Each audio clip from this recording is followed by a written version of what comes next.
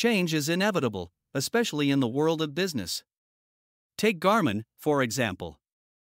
When sales of GPS devices started declining, they didn't give up.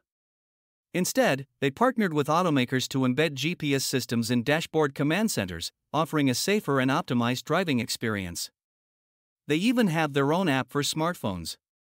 Dow Chemical faced a similar challenge.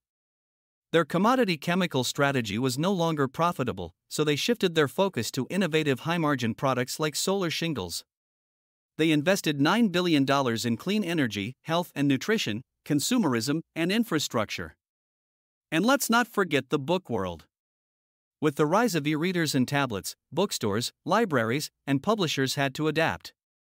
Libraries now lend e readers and stock ebooks for easy access.